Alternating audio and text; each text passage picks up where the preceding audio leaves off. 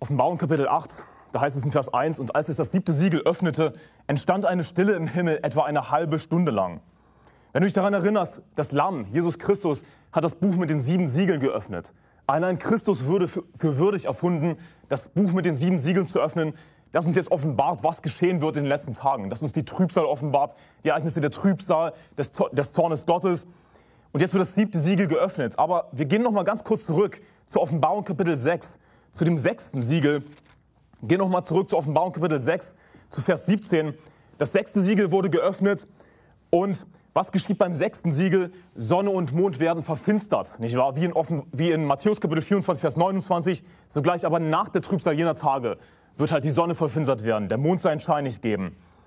Offenbarung Kapitel 6, in Vers 12, da heißt es, und ich sah, als das sechste Siegel öffnete und siehe, ein großes Erdbeben entstand und die Sonne wurde schwarz wie ein herrener Sack und der Mond wurde wie Blut und die Sterne des Himmels fielen auf die Erde und so weiter. Und was sagen dann die Ungläubigen wohlgemerkt in Vers 17, Offenbarung 6, Vers 17, denn der große Tag seines Zorns ist gekommen und wer kann bestehen?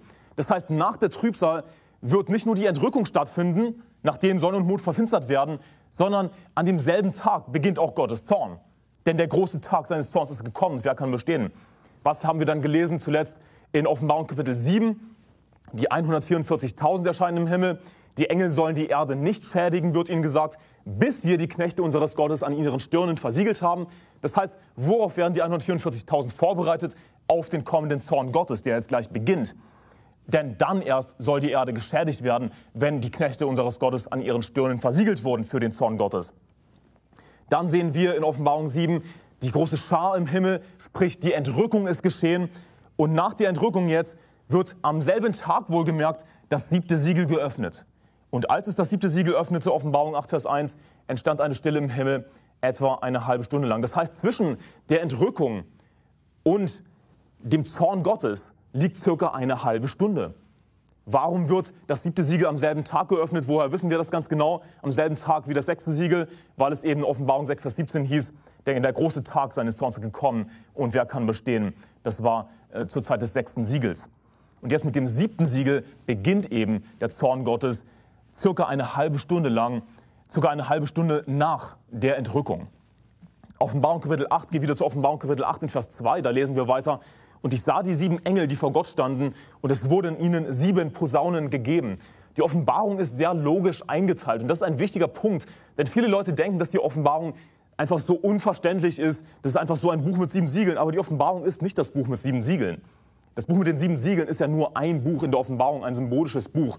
Und die sieben Siegel werden außerdem geöffnet. Also die Offenbarung ist nicht unverständlich, sondern natürlich enthält sie viele Informationen. Und wenn man die Offenbarung das erste Mal liest, dann kann es überwältigend sein. Aber nimm es Schritt für Schritt, Stück für Stück. Die Offenbarung ist logisch eingeteilt. Genauso wie die Trübsal logisch eingeteilt wurde. Wir hatten zum Beispiel die vier Reiter der Trübsal, nicht wahr?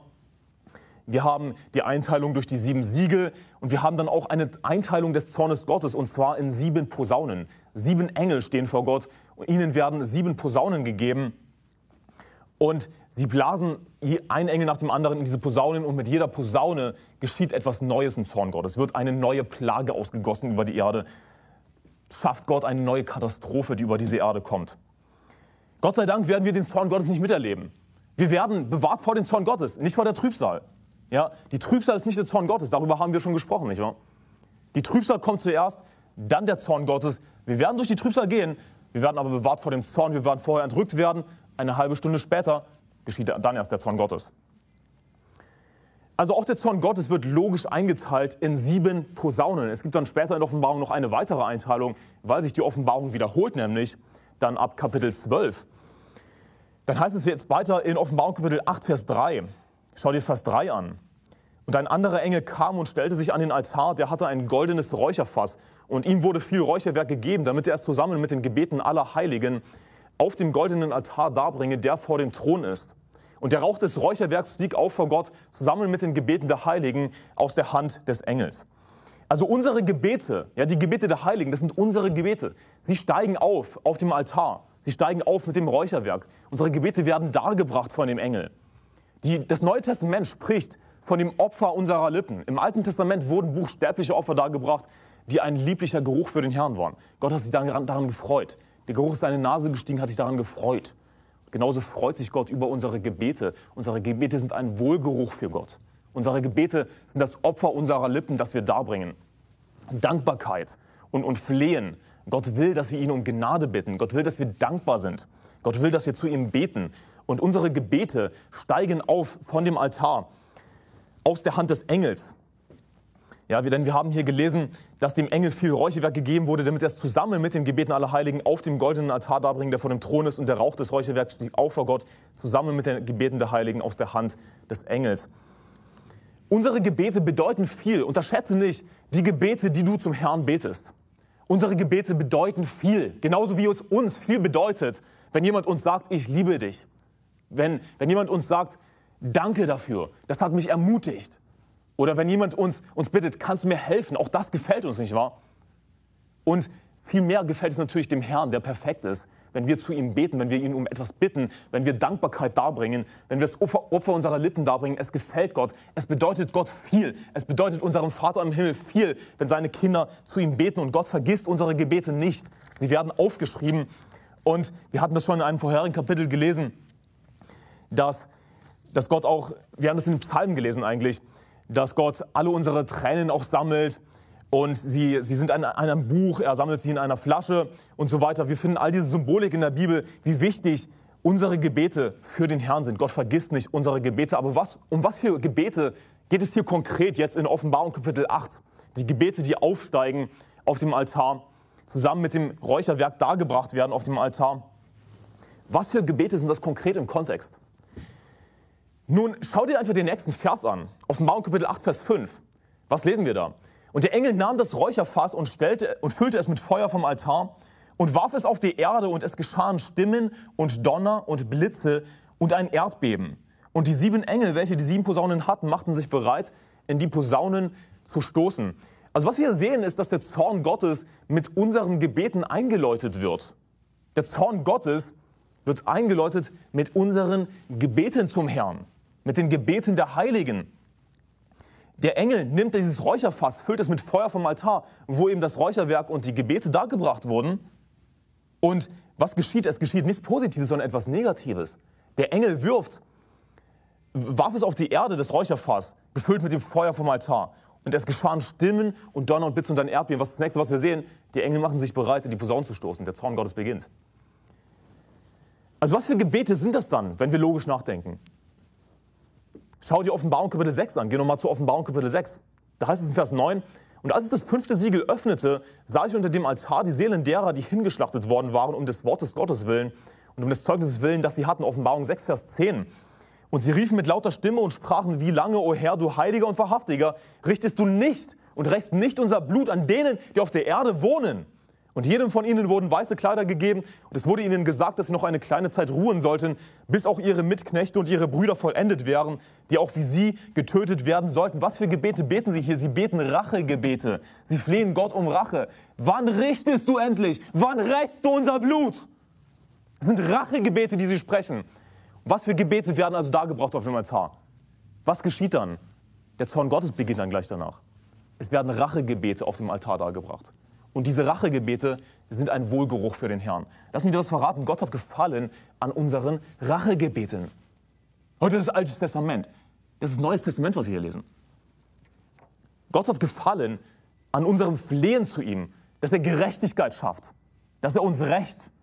Gott hat gefallen an Rachegebeten. Und achte darauf, dass diese Gebete, die hier gesprochen wurden, in Offenbarung Kapitel 6, Abvers 9, dass es Gebete von Heiligen sind, die jetzt schon im Himmel sind oder die dann zu dieser Zeit im Himmel sein werden. Sie wurden hingerichtet, sie wurden hingeschlachtet während der Drangsal, während der großen Drangsal. Und sie sind im Himmel, sie sind in einem perfekten, sündlosen Zustand und sie sprechen dieses Gebet. Wie lange, o oh Herr, du Heiliger und Wahrhaftiger, richtest du nicht, rächst nicht unser Blut an denen, die auf der Erde wohnen? Sie liegen also nicht falsch damit, Sie liegen richtig damit, weil sie schon sündlos sind, weil sie schon in einem verherrlichten, perfekten Zustand sind. Im Himmel. Gott hat gefallen an unseren Rachegebeten. Ja, wir sollten Rachepsalmen beten. Ah, wie, ah, wie kannst du sowas beten? Sowas wie, hasse ich nicht, Herr, die dich hassen. und verabscheue ich nicht, die wieder sich aufstehen. Mit vollkommenem Hass hasse ich sie, sind Feinde für mich. Wie kannst du sowas sagen? Also bitte im Neuen Testament. Okay, rate mal, was im Neuen Testament geschrieben wird. Dass wir Psalmen singen sollen. Sollen wir dann also nur die Psalmen uns rauspicken, die, die liberalen Christen gefallen, die Freikirchenchristen gefallen heutzutage? Oder sollen wir nicht einfach mit dem gehen, was die Bibel sagt und Psalmen singen? Sprich, alle Psalmen, auch Psalm 139 zum Beispiel. Natürlich sollten wir auch Rachepsalmen singen.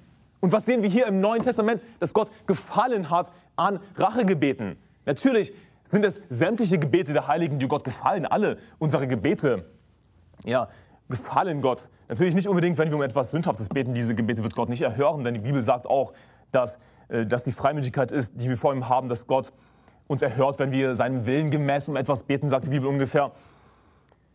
Aber Gott gefallen eben auch diese Rachegebete. Denn das sind die Gebete, die wir hier im Kontext der Offenbarung finden. Und nach diesen Gebeten, was geschieht? Der Zorn Gottes wird ausgegossen. Das heißt, Gott hat diese Gebete erhört. Sie sind aufgestiegen als ein Wohlgeruch für Gott. Gott hat sie gerochen. Das gefällt mir. Und er gießt seinen Zorn aus und rächt das Blut der Märtyrer. Auch im Neuen Testament, ja, beten wir Rachegebete. Wir beten Rachegebete gegen die Feinde Gottes. Wir sollten kalten Hass empfinden, vollkommenen Hass gegen die Feinde Gottes, gegen Menschen, die Gott hassen. Wir sollten Irrlehrer hassen. Ja, seien sie verflucht. Mit anderen Worten, sollen sie doch sterben. Wir beten Rachegebete gegen sie. Wir beten Rachegebete gegen die Feinde Gottes. Und wir beten dafür, dass Gott uns rächt. Nun, hier ist das Ding die einzelne Person, die uns angreift, weil sie uns nicht leiden kann, die uns etwas zu Leide tut. Wir sollen für sie beten, wir sollen sie segnen. Ich meine, sagt nicht Jesus im Neuen Testament, dass wir unsere Feinde segnen sollen, dass wir, dass wir sie lieben sollen? Absolut. Wir sollen für sie beten, Gutes beten. Für den einzelnen Menschen, der uns einfach nicht leiden kann, uns deshalb etwas, etwas zu Leide tut. Das war übrigens im Alten Testament genau dasselbe. David ist ein gutes Beispiel für Nächstenliebe. Nicht nur für Nächstenliebe, sondern auch für Feindesliebe. Feindesliebe ist nicht etwas einfach nur Neutestamentliches. Aber gleichzeitig heißt es natürlich nicht, dass wir nicht, nicht Gerechtigkeit wollen. Es soll trotzdem Gerechtigkeit geschaffen werden. Ich meine, nur deshalb, weil wir unsere Feinde lieben sollen, wohlgemerkt nicht die Feinde Gottes, sondern unsere Feinde, die einfach nur uns nicht leiden können, uns etwas zu Leide tun.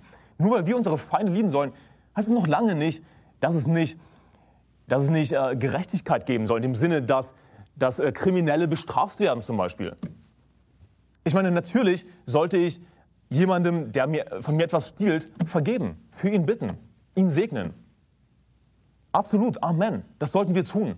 Das heißt aber nicht, dass er nicht strafrechtlich verfolgt werden sollte. Denn es muss trotzdem für Recht und Ordnung gesorgt werden in unserer Gesellschaft, nicht wahr? Das ist ein, ein Gedanke dazu. Und ja, auch wir wissen nicht in jedem Fall, wenn jemand uns angreift, was hat er am Herzen. Ich meine, Saulus zum Beispiel hat die Gemeinde verfolgt, aber er war nicht verworfen. Und wir sollten, unser, unser, unser Standardmodus sollte sein, Gutes für Menschen zu beten. Zu beten, Vater, vergib ihnen, denn sie wissen nicht, was sie tun. Aber es ist gleichzeitig nicht falsch, sondern vollkommen richtig, zu beten, Herr, wann rächst du uns? Wann rächst du uns?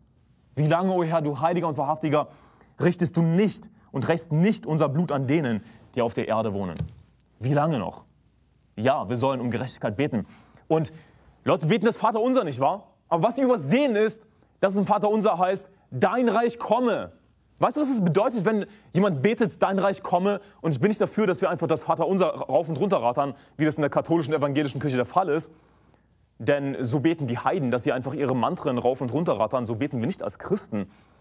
Aber das Vaterunser gibt uns natürlich ein Vorbild. Und was bedeutet das, wenn wir sagen, dein Reich komme? Wenn wir danach lechzen, dass Gottes Reich kommt, dass Gerechtigkeit geschaffen wird? Nun, wir beten konkret dafür, dass Gott sein Reich hier auf Erden aufrichten wird, nicht wahr? Dass Gott das Millennium aufrichten wird, dass Christus regieren wird auf der Erde. Weißt du, was dem vorausgeht? Der Zorn Gottes. Dass Gott Gottlose dahinraffen wird. Und das schließt das ein, wenn wir beten, dein Reich komme. Wenn wir beten, dein Reich komme, dann beten wir, dass auf dieser Erde Gottes Gesetze gelten. Dass Gesetze des Alten Testaments umgesetzt werden.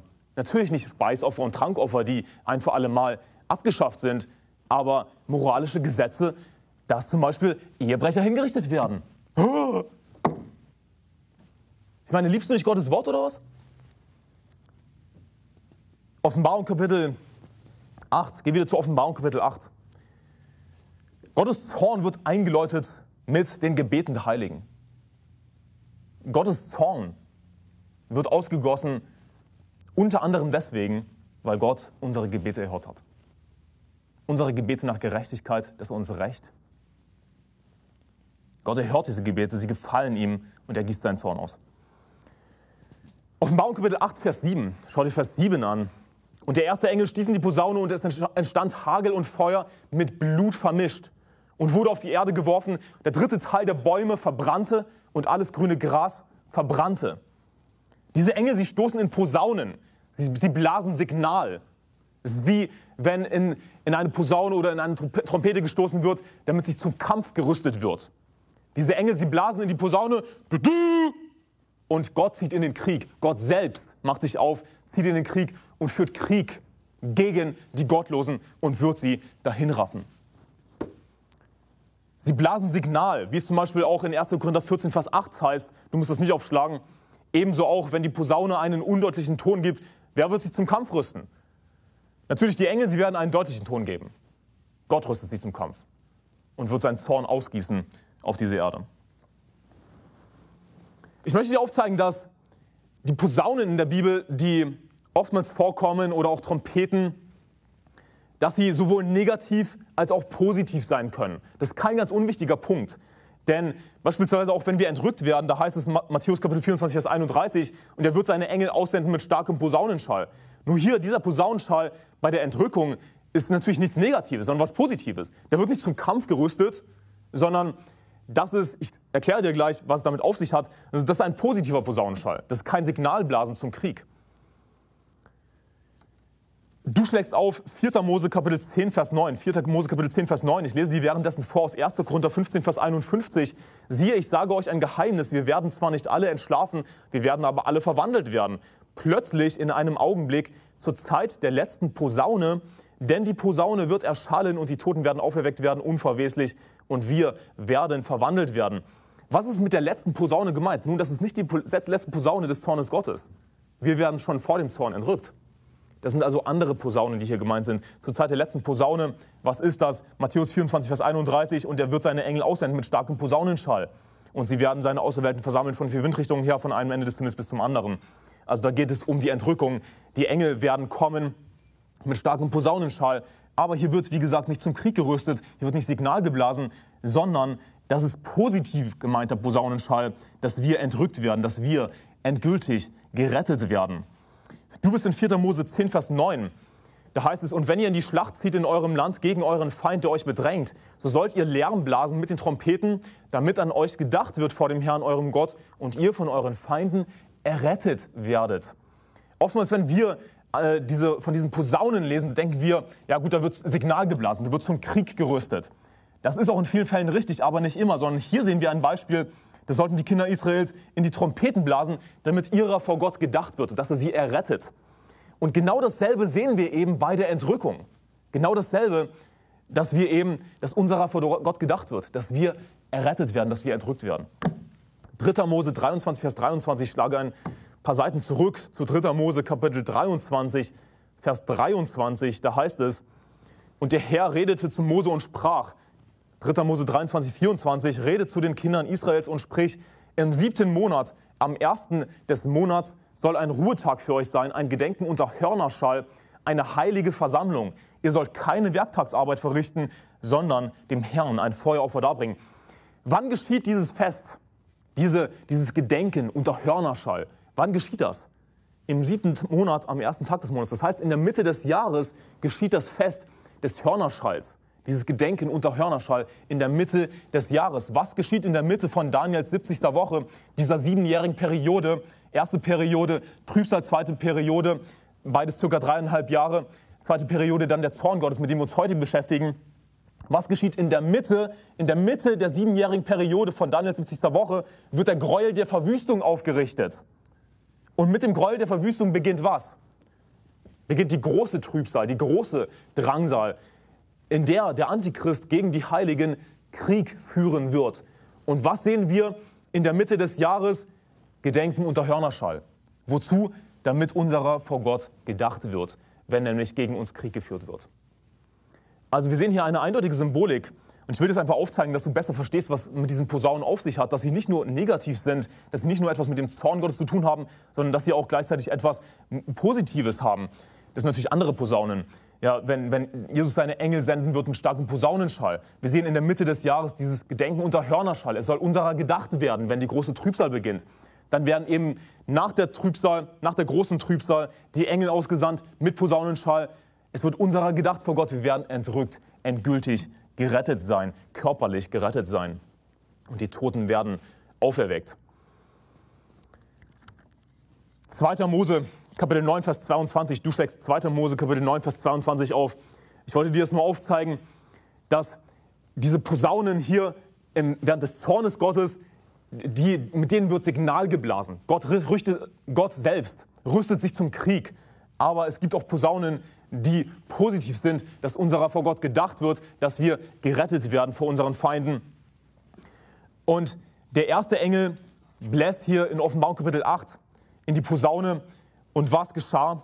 Da haben wir gelesen, es entstand Hagel und Feuer mit Blut vermischt und wurde auf die Erde geworfen und der dritte Teil der Bäume verbrannte und alles grüne Gras verbrannte. Und, und eine Anmerkung möchte ich noch machen, bevor ich hier weitergehe. Vielleicht wunderst du dich, ja gut, es heißt hier manchmal Posaune, dann heißt es mal Trompete. Geht es hier wirklich um das Gleiche? Oder einige von euch, viele von uns sind, sind natürlich jung, äh, einige von euch lesen auch äh, auf Englisch die King James Bibel manchmal, nicht wahr? Und da heißt es oftmals Trumpets, also Trompete anstatt Posaune. Was ist es jetzt? Ist es Trompete? Ist es Posaune? Nun, lass mich, da, lass mich da was verraten. Es ist weder noch. Es ist weder eine moderne Trompete noch eine moderne Posaune. Wenn wir Trompete und Posaune lesen, dann denken wir natürlich automatisch an die modernen Instrumente. Aber lass mich da was verraten. Sie hatten damals weder eine heutige Trompete noch eine heutige Posaune, sondern diese Wörter werden genutzt, um diese Instrumente zu charakterisieren. Ja, du darfst nicht an eine buchstäbliche Trompete von heute denken, an eine buchstäbliche Posaune von heute. Instrumente haben sich stark verändert natürlich über den Lauf der Menschheitsgeschichte. Deswegen gibt es beispielsweise heutzutage auch Barockorchester. Warum Barockorchester? Weil sie mit barocken Instrumenten spielen. Nur die Barockzeit, die liegt nicht allzu lange zurück, bezogen auf die gesamte Menschheitsgeschichte. Das heißt, in relativ kurzer Zeit haben sich Instrumente stark verändert. Barockinstrumente sind deutlich anders. Beispielsweise ein barockes Cello hat Saiten, die aus tierischem Darm gemacht sind. Das heißt, die Saiten sind viel weicher, sie verstimmen sich viel schneller, sie sind wesentlich leiser, haben eine andere Klangfarbe. Instrumente haben sich durchaus ziemlich stark verändert. Umso, umso, umso unterschiedlicher waren natürlich damals, zu dieser Zeit hier, Instrumente wie Trompeten und Posaunen. Und wir dürfen dabei eben nicht an heutige Trompeten oder Posaunen denken, sondern das Einzige, was wir definitiv hundertprozentig wissen, ist, dass es Blasinstrumente waren, mit denen Signal geblasen wird. Entweder zum Krieg geblasen wird oder eben damit Gott an uns gedenkt. Ein Gedenken unter Hörnerschall. Und es wird natürlich nicht zum Krieg geblasen mit einer Tuba oder mit einer Piccoloflöte oder mit einer Querflöte oder einem Fagott, sondern es wird, womit wird Signal geblasen? Mit einer Trompete, mit einem lauten Instrument oder mit einer Posaune, nicht wahr? Deswegen, ob das Trompete oder Posaune hier steht, es macht nicht wirklich einen Unterschied, ehrlich gesagt. Also, der erste Engel stieß eine Posaune, Hagel und Feuer entsteht, mit Blut vermischt, wird auf die Erde geworfen, der dritte Teil der Bäume verbrennt und alles grüne Gras verbrennt. Das grüne Gras wird betont, weil das extremes Feuer sein wird. Normalerweise verbrennt nicht einfach so grünes Gras. Aber alles grüne Gras wird verbrennen, so extrem wird das Feuer sein, das der Herr auf die Erde regnen lassen wird. Und das erinnert natürlich stark an die Plagen in Ägypten im Alten Testament, nicht wahr? Deswegen bist du in 2. Mose Kapitel 9. 2. Mose Kapitel 9, Vers 22, da sprach der Herr zu Mose, strecke deine Hand aus dem Himmel, damit Hagel im ganzen Land Ägypten fällt, über die Menschen und über das Vieh und über alles Gewächs auf dem Feld im Land Ägypten.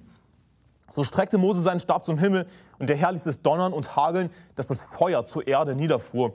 Und der Herr ließ Hagel regnen auf das Land Ägypten. Sehr ähnlich wie die Plagen damals, nur noch viel extremer. Denn hier ist es nicht nur Feuer und Hagel, sondern es ist mit Blut vermischt.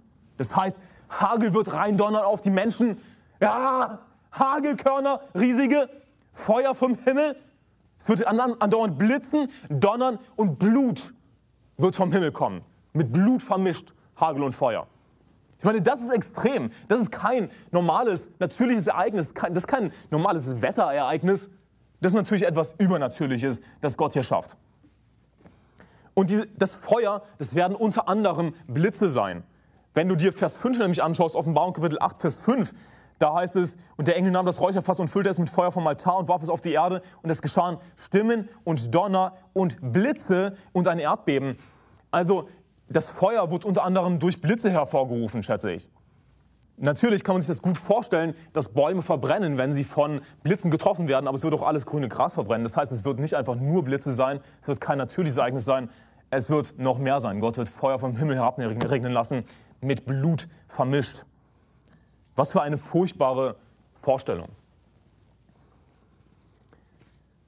Alles Gras, alles grüne Gras wird verbrennen, ein dritter Teil, also ein Drittel der Bäume wird verbrennen.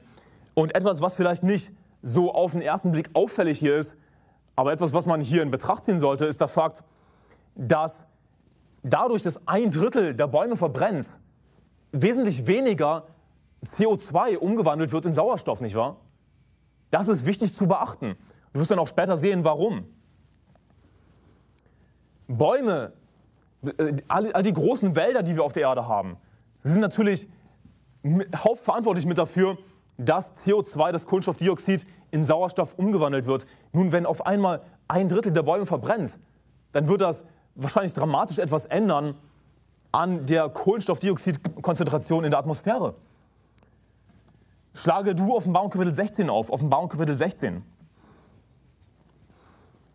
Und es wird für einen stärkeren Treibhauseffekt sorgen. Ich meine, der Treibhauseffekt ist kein Hokuspokus. Ich meine, wir sind keine Klimaaktivisten.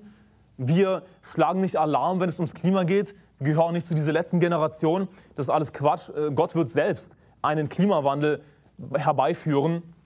Also der Klimawandel, der wirklich die Erde zerstören wird, der wird von Gott gewollt sein den wird Gott selbst schaffen. Okay? Deswegen machen wir uns keine Sorgen um das Klima. Aber natürlich gibt es den Treibhauseffekt.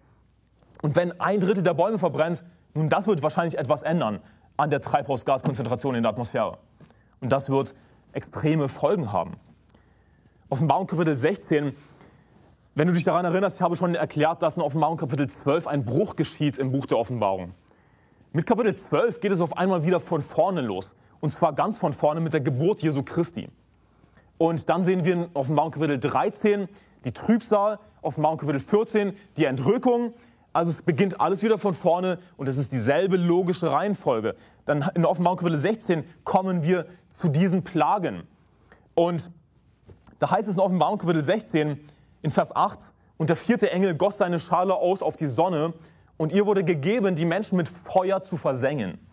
Und die Menschen wurden versenkt von großer Hitze und sie lästerten den Namen Gottes, der Macht hat über diese Plagen und sie taten nicht Buße, um ihm die Ehre zu geben.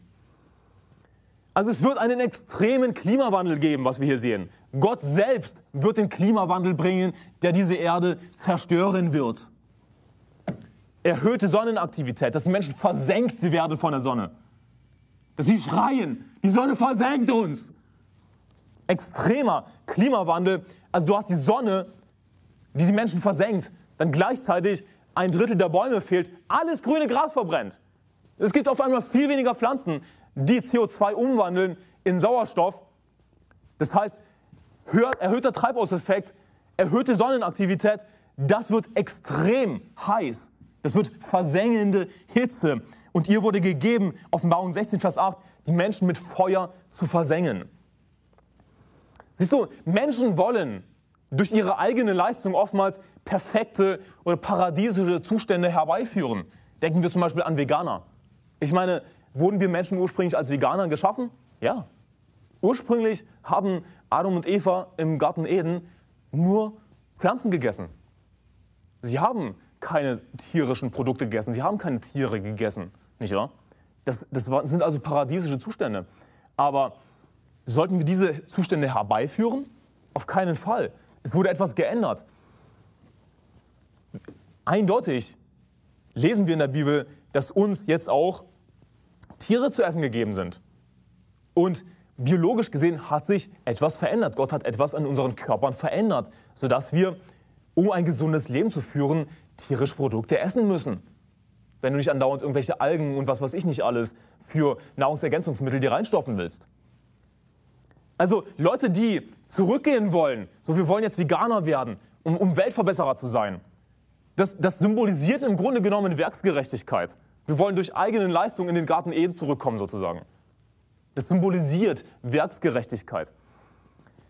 Und Menschen haben immer diese Vorstellung, wir können das alles verbessern. Wir sind diese Weltverbesserer. Wir können zu perfekten oder zu, zumindest zu besseren Zuständen zurückkehren. Können wir oftmals nicht. Und ich sage nicht, ja, verstehe mich nicht falsch, wenn ich das jetzt sage. Natürlich, es ist nichts daran falsch, Fleisch zu essen. Jesus Christus hat Fleisch gegessen, okay? Nur um das nochmal klarzustellen weil sich ganz einfach etwas verändert hat. Aber wir werden nicht mehr zum Garten Eden zurückkehren.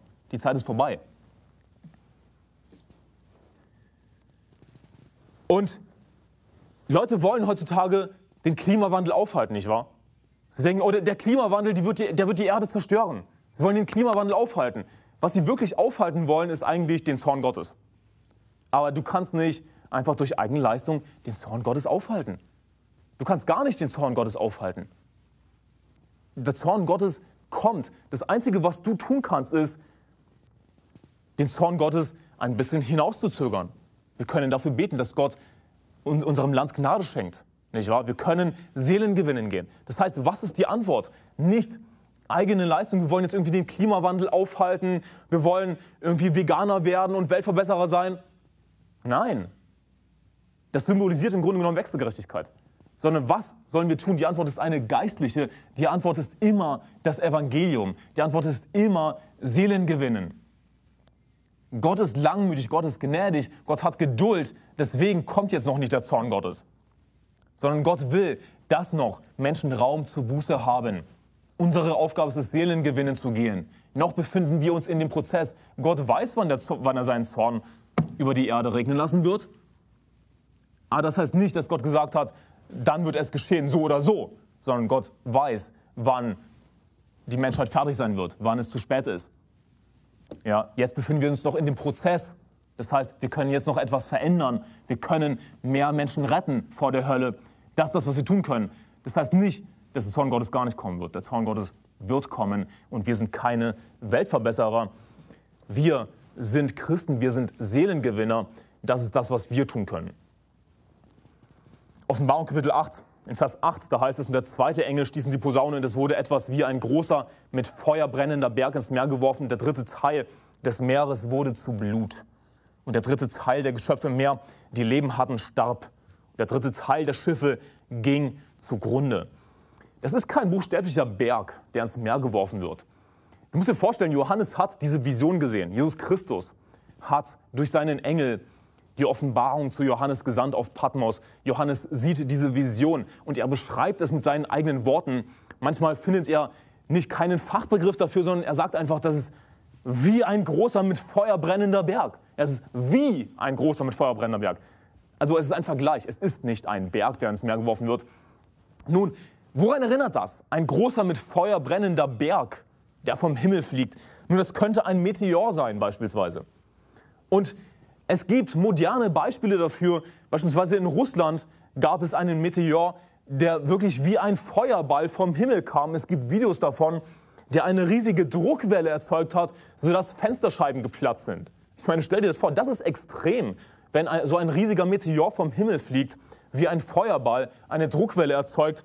Nur das hier, was in der Offenbarung geschehen wird, was im, zum, zur Zeit des Zornes Gottes geschehen wird, ist noch viel extremer. Es wird wie ein Mount Everest sein, der vom Himmel fliegt. Ein riesiger Meteor oder was auch immer für ein Himmelskörper, der die Erde treffen wird, brennend, wie ein großer mit Feuer brennender Berg.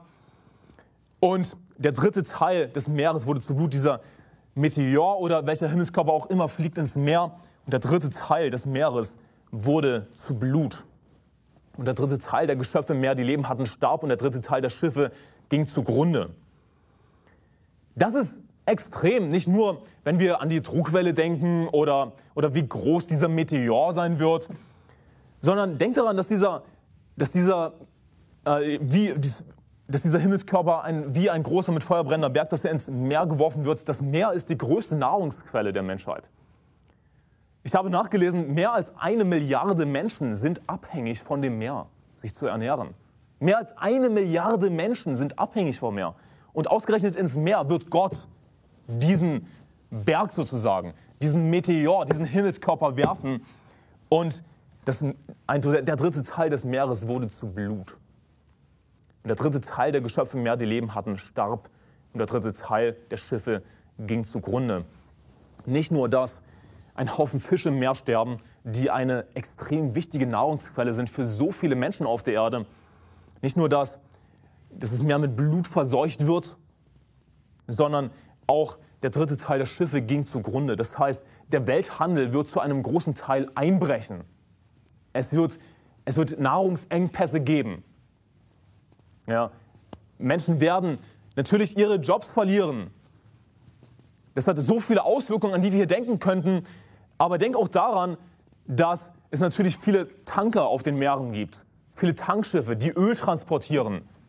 Und wenn der dritte Teil der Schiffe zugrunde geht, dann wird das Meer mit, Seucht, wird das Meer mit Öl verseucht werden und mit anderen Flüssigkeiten, wodurch noch mehr Fische sterben werden, wodurch die Nahrungsquelle Meer noch mehr dezimiert wird. Und was wird es noch für Effekte haben? Es wird Fluten geben. Infrastruktur wird zerstört. Und daran solltest du denken, wenn wir dann weiterlesen, dass Infrastruktur natürlich zerstört wird durch Fluten. Das wird noch eine wichtige Rolle spielen.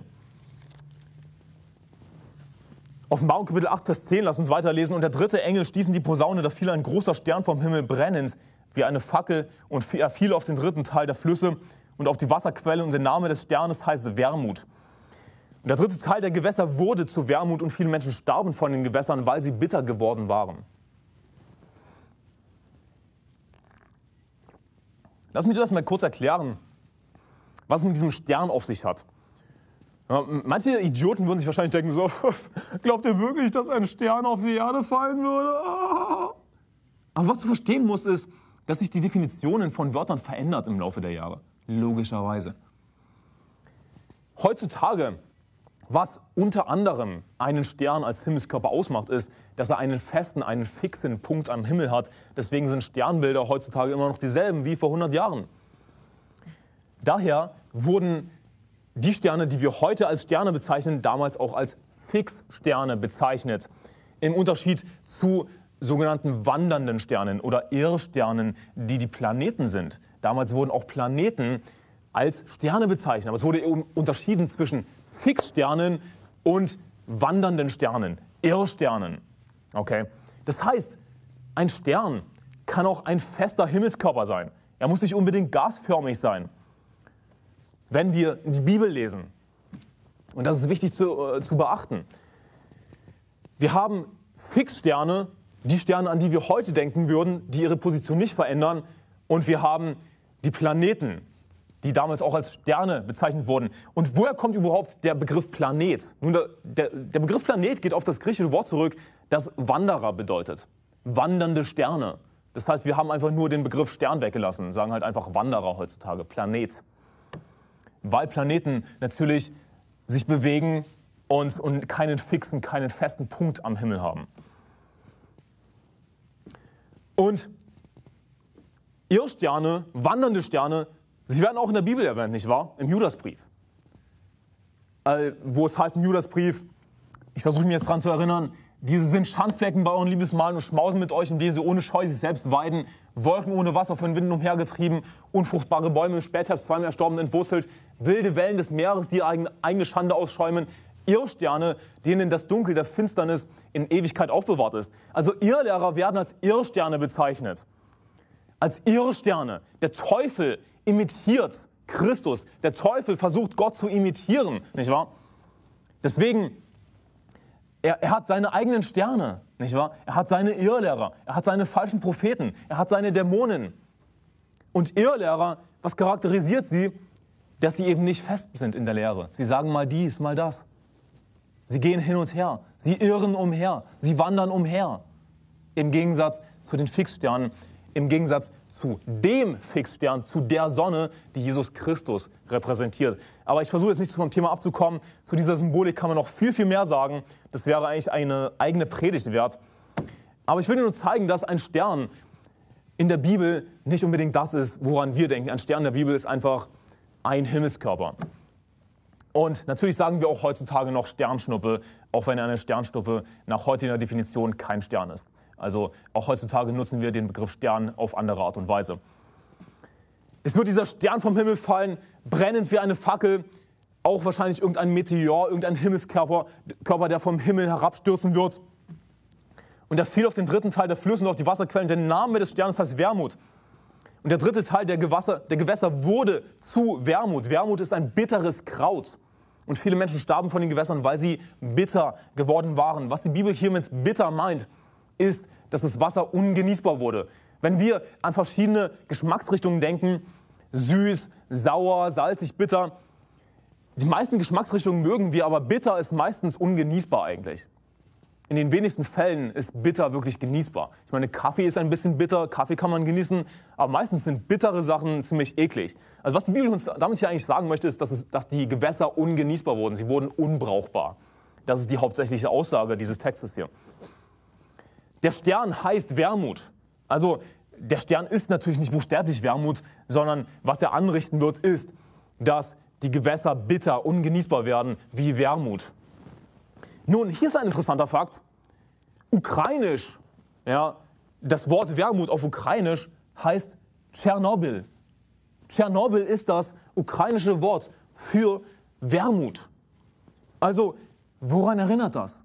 Es erinnert an die Katastrophe von Tschernobyl, als das Atomkraftwerk äh, die, die Katastrophe geschehen ist.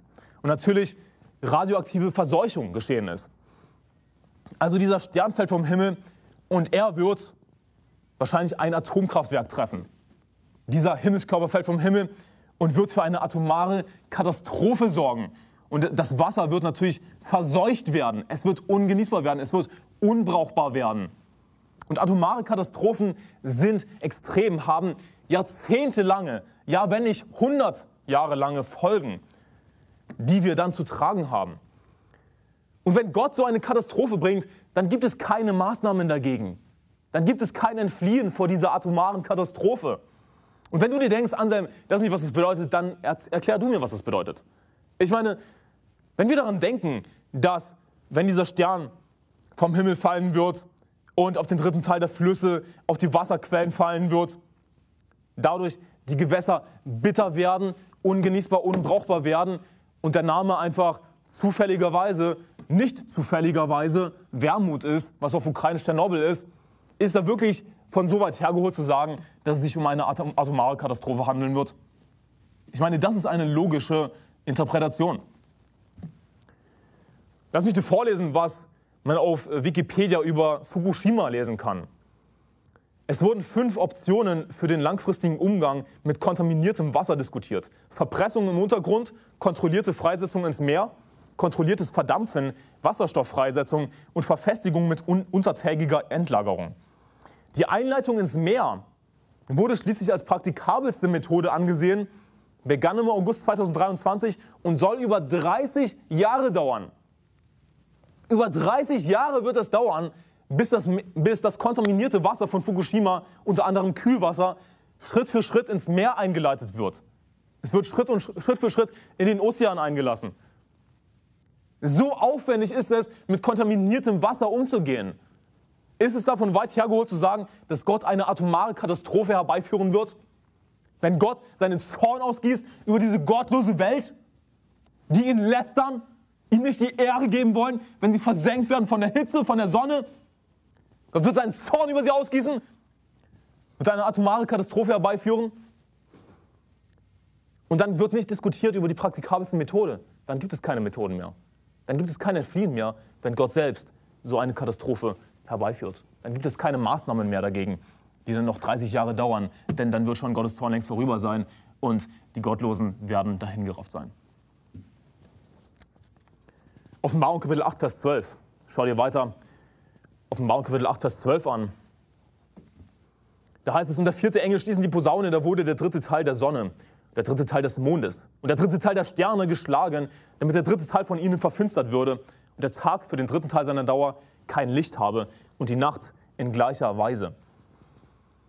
Also ein Drittel der Sonne, ein Drittel des Mondes, ein Drittel der Sterne, sie werden verfinstert werden. Sie werden nicht mehr leuchten, kein Licht geben. in der Nacht wird es gar kein Licht geben. Du wirst dich gar nicht mehr orientieren können an den Sternen, gar nicht mehr orientieren können am Mond.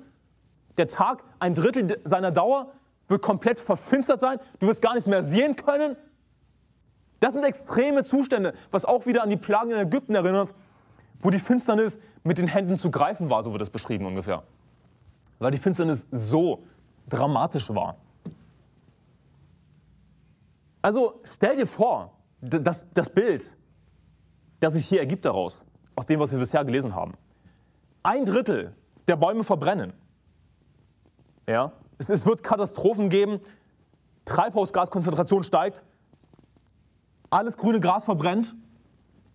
Dann auf Mount Kapitel 16 haben wir gelesen, die Sonne wird auf der einen Seite die Menschen versengen, gleichzeitig werden aber Sonne, Mond und Sterne für den dritten Teil des Tages verfinstert.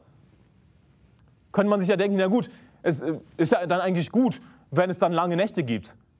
Dann werden, wird man zumindest eine lange, kühle Nacht haben. Wenn die Sonne am Tag die Menschen versenkt. Aber ist das wirklich so?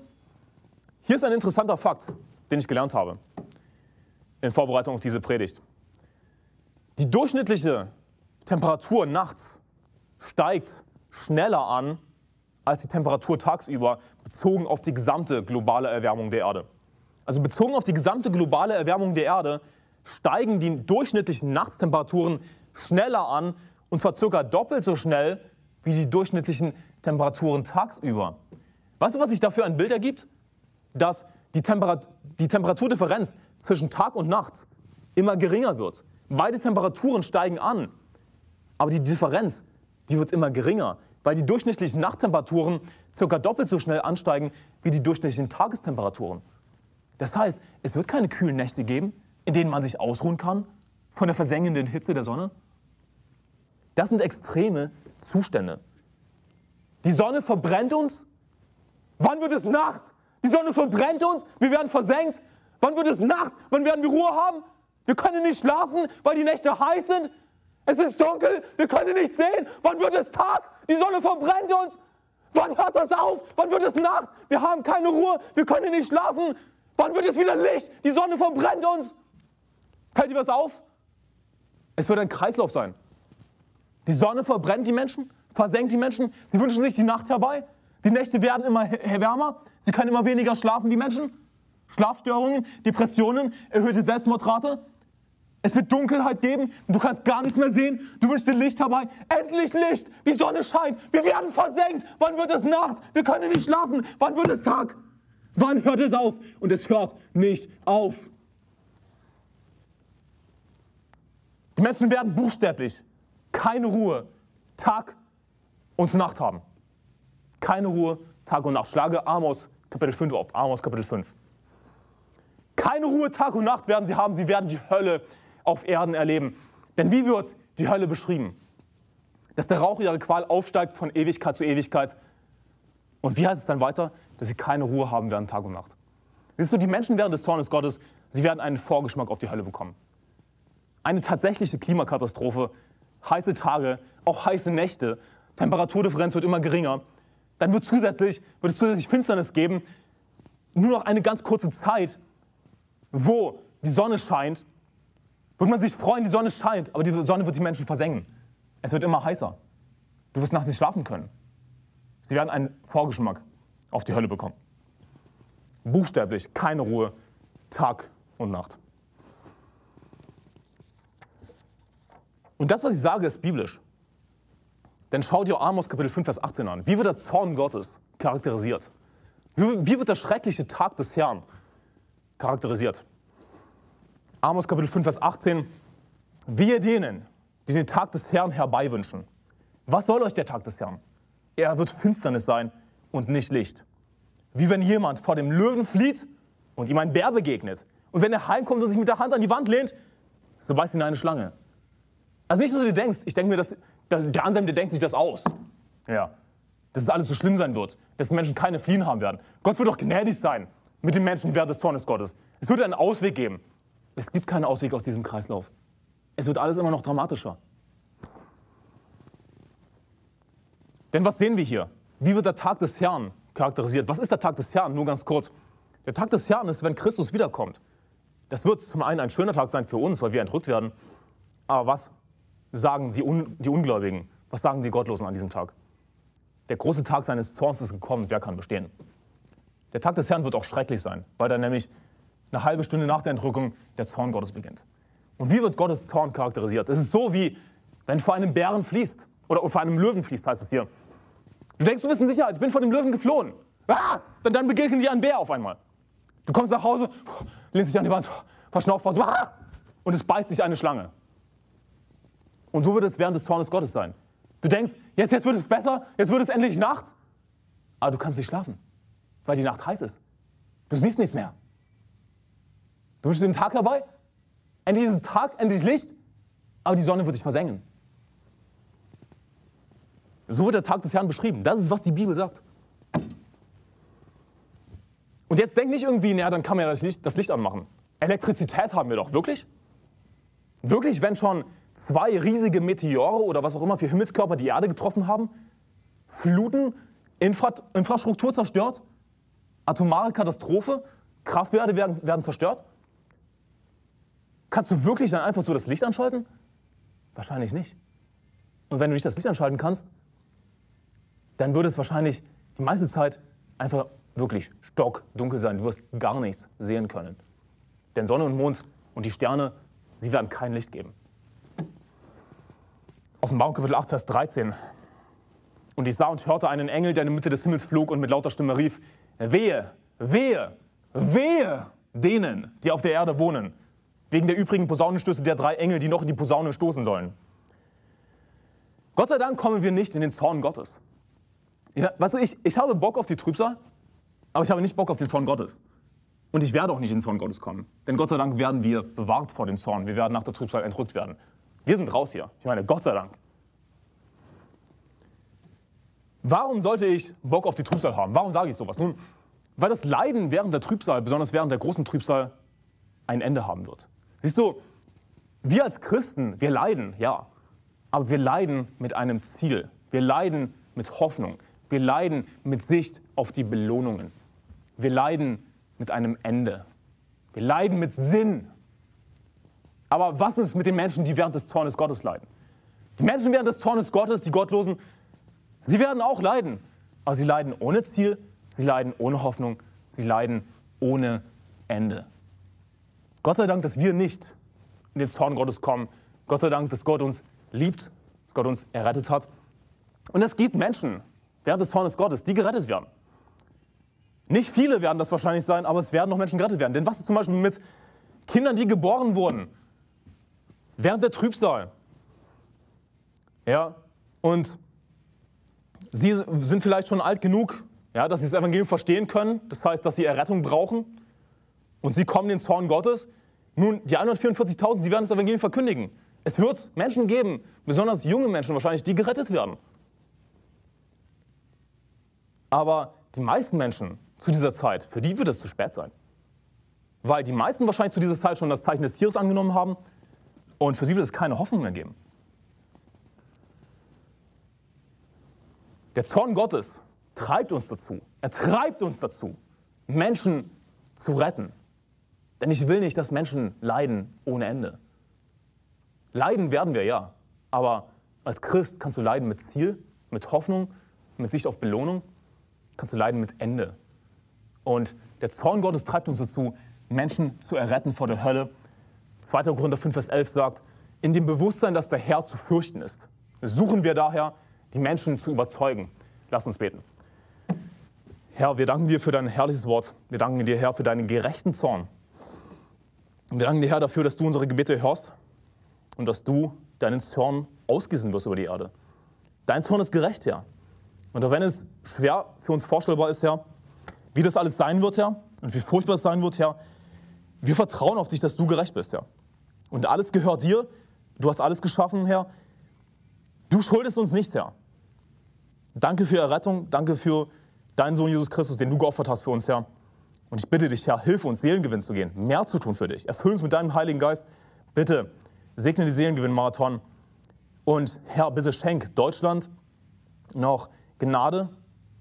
Bitte habe noch Geduld. Und Herr, dein Zorn ist groß über dieses Volk, Herr, das gottlos ist, das abgefallen ist von dir, Herr. Und lass uns bitte deinen Zorn erkennen. Hilf uns, Sünde zu hassen. Denn Herr, du hast Sünde. Und hilf uns, Menschen zu retten. Und wir beten das im Namen Jesu Christi. Amen.